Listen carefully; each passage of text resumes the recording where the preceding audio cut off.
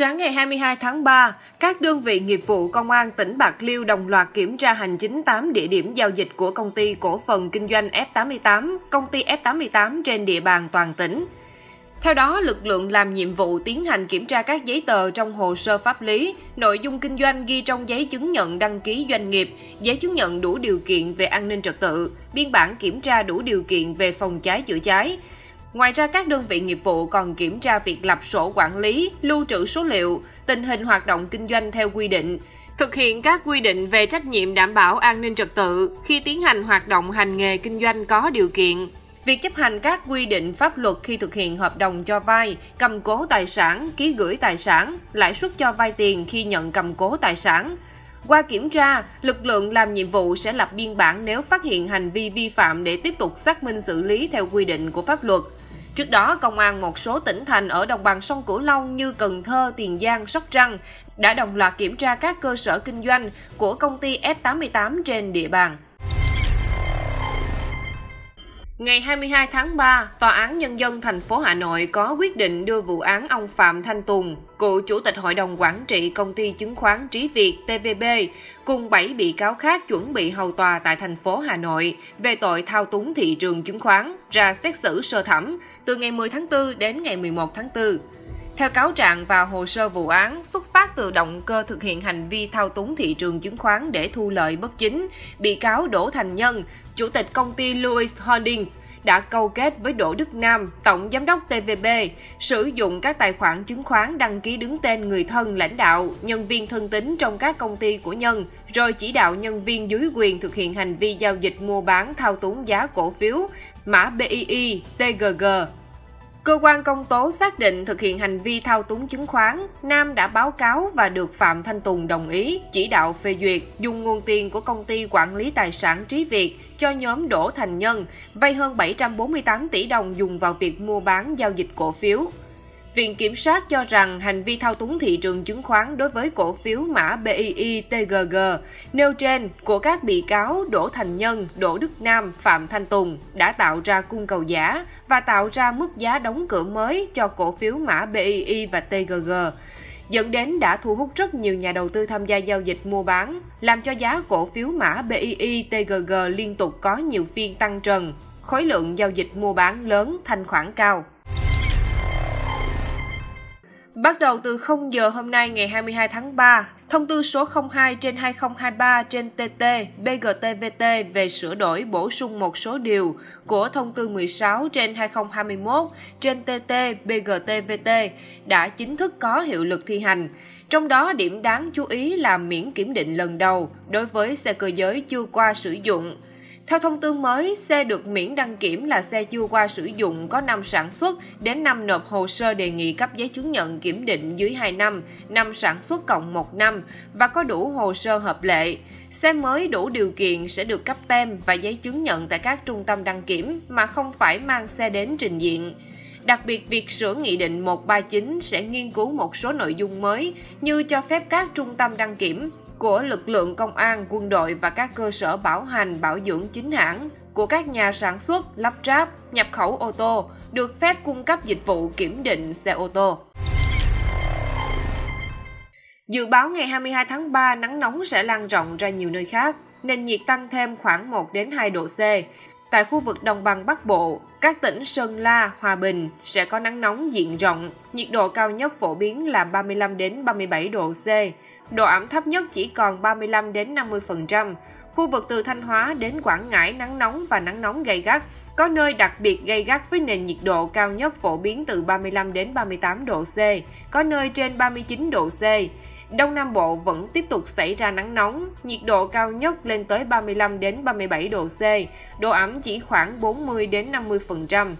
Đợt nắng nóng này sẽ dịu dần từ ngày 24 tháng 3 đối với khu vực đồng bằng Bắc Bộ. Các tỉnh Sơn La, Hòa Bình và từ ngày 25 tháng 3 đối với khu vực từ Thanh Hóa đến Quảng Ngãi và miền Đông Nam Bộ.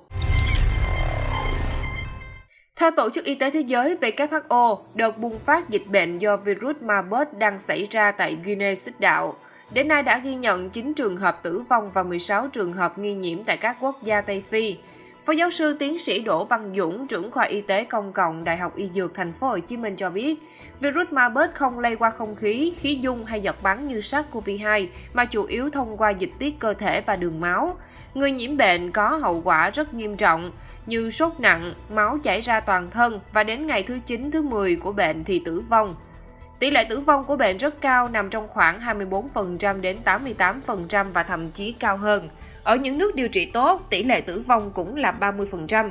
Theo bác sĩ Lê Hồng Nga, Phó Giám đốc Trung tâm Kiểm soát Bệnh tật Thành phố Hồ Chí Minh, hiện bệnh chưa có vaccine dự phòng và cũng chưa có thuốc điều trị đặc hiệu, mà chủ yếu chữa triệu chứng.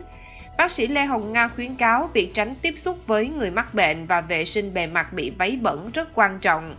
Bác sĩ Nga cũng cho biết hiện thành phố Hồ Chí Minh đang thường xuyên giám sát các chuyến bay đến từ các quốc gia có ghi nhận ca mắc bệnh do virus Marburg.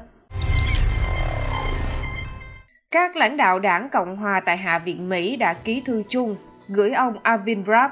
công tố viên quận Manhattan, New York, thuộc đảng Cộng hòa, đề nghị cung cấp bằng chứng cho việc truy tố cựu Tổng thống Donald Trump. Cùng lúc đó, ông Donald Trump tiếp tục kêu gọi những người ủng hộ xuống đường ngăn chặn khả năng ông bị bắt. Vụ việc xoay quanh thông tin cho rằng ông Trump có thể đã yêu cầu luật sư cũ của ông là Michael Cohen dùng 130.000 đô la Mỹ trả cho ngôi sao phim 18 cộng Stormy Daniels để giữ im lặng về mối quan hệ giữa hai người trong giai đoạn trước cuộc bầu cử năm 2016. Nếu điều này có thật, có khả năng ông Trump đã vi phạm luật tài chính trong chiến dịch tranh cử. Tuy nhiên, ông Trump phủ nhận toàn bộ thông tin này. Tình hình thậm chí còn căng thẳng hơn vì ông Trump, một ứng cử viên cho cuộc đua vào Nhà Trắng năm 2024, bắt đầu chiến dịch tranh cử của mình xoay quanh câu chuyện về sự đàn áp, đặc biệt là liên quan đến các cuộc điều tra về hành vi của bản thân sau cuộc bầu cử năm 2020. Ông Trump cũng đang hứa hẹn trả thù nếu trở lại Nhà Trắng. Một bản cáo trạng cũng có khả năng sẽ ảnh hưởng đến cuộc bầu cử sơ bộ tổng thống của đảng Cộng hòa năm 2024. Các đối thủ tranh suất đề cử ứng viên tổng thống chính thức của đảng Cộng hòa với ông Trump như thống đốc bang Florida, Ron DeSantis và cựu thống đốc bang South Carolina Nikki Haley sẽ rơi vào tình thế tiến thoái lưỡng nan. Cả hai đều không muốn ông Trump, dù với lý do gì, trở thành tâm điểm trước cuộc đua. Theo Reuters, các nhà báo tại nhiều cơ quan báo chí khác nhau ở Ecuador đã nhận được phong bì chứa các thiết bị điện tử có nội dung giống nhau được trang bị chất nổ. Trong đó tại thành phố cảng Guayaquil, Tây Nam Ecuador, một nhà báo làm việc tại đài truyền hình tư nhân Ecuvisa đã nhận được phong bì chứa một USB. Chiếc USB này đã phát nổ khi được cắm vào máy tính. Nhà báo này bị thương nhẹ ở mặt và tay. Văn phòng công tố Ecuador thông báo đã mở một cuộc điều tra về vụ việc trên với tội danh khủng bố. Cơ quan này không nêu rõ lý do cụ thể các nhà báo bị nhắm làm mục tiêu hoặc đối tượng nào đứng sau vụ tấn công này.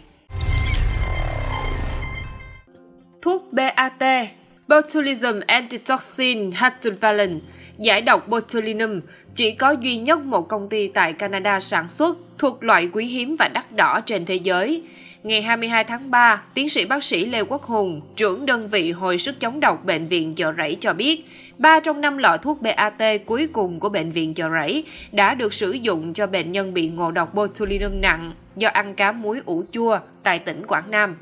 Hiện hai lọ chưa sử dụng đã lưu lại tại Bệnh viện Đa khoa khu vực miền núi phía Bắc Quảng Nam dự phòng nếu xuất hiện thêm bệnh nhân ngộ độc botulinum. Theo tiến sĩ bác sĩ Lê Quốc Hùng, lô thuốc BAT được nhập về bệnh viện Chợ Rẫy vào năm 2021. Loại thuốc có tên BAT, chai 50ml, quý hiếm không chỉ ở Việt Nam mà trên toàn cầu, có giá hơn 8.000 đô la Mỹ một lọ. Trước đó, như báo Sài Gòn Giải phóng đưa tin, từ ngày 7 đến ngày 16 tháng 3, Bệnh viện Đa khoa khu vực miền núi phía Bắc Quảng Nam tiếp nhận 3 chùm ca bệnh gồm 10 người, trong đó một người đã tử vong. Qua điều tra, những bệnh nhân trên có đặc điểm chung là ăn món cá chép ủ chua. Đến trưa ngày 22 tháng 3, ba bệnh nhân được truyền thuốc giải độc botulinum đã có cải thiện bước đầu, trong đó 2 ca được cai máy thở. Các bệnh nhân được xác định nhiễm độc từ cá muối ủ chua, loại thức ăn truyền thống của người dân tộc Dẻ Triên. Loại thức ăn này được bỏ vào hộp thủy tinh đóng kín sau 2 đến 3 tuần, có thể tạo điều kiện yếm khí cho vi khuẩn Clostridium botulinum phát triển.